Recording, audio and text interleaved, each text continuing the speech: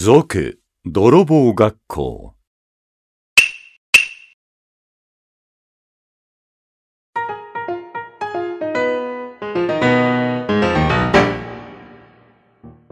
山また山の村外れに泥棒学校がありました校長先生は世にも名高い熊坂虎右衛門先生泥棒学校の生徒は早く一番悪い泥棒になるよ。うんと勉強しなければいかんぞ。はい。へい。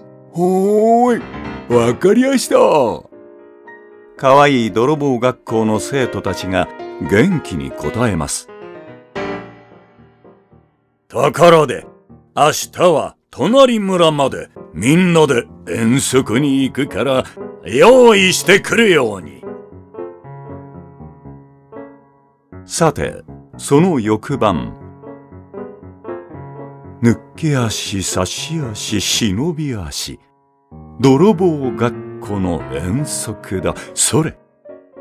抜き足差し足忍び足。泥棒学校の遠足だ。金持ち村の一番大きな屋敷に忍び込んだ泥棒学校の一同でしたが、なんとそこは、この辺で一番大きな刑務所でした。残念無念、深くの至り。こうして、泥棒学校の熊坂先生も、可愛い生徒たちもみんな揃って、牢屋に入れられてしまいました。